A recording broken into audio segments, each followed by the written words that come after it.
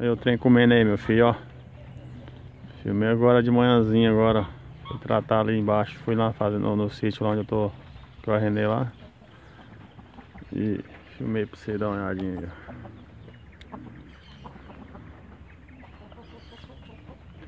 Aqui é só o mais zerado que eu tenho. Mais zeradinho.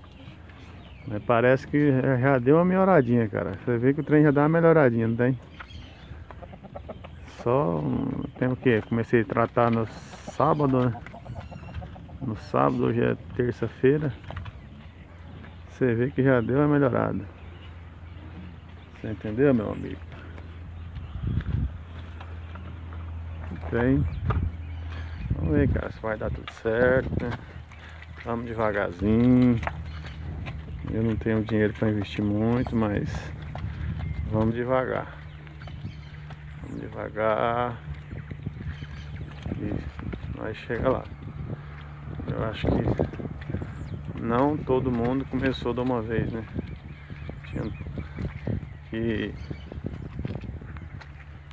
quando a pessoa tem um recurso certo, aí eu não te falo nada, mas quando a gente é, é meio fraco, cara, é meio complicado. Se não vê preta é braba demais. Ela é estranha, gente. Muito bom.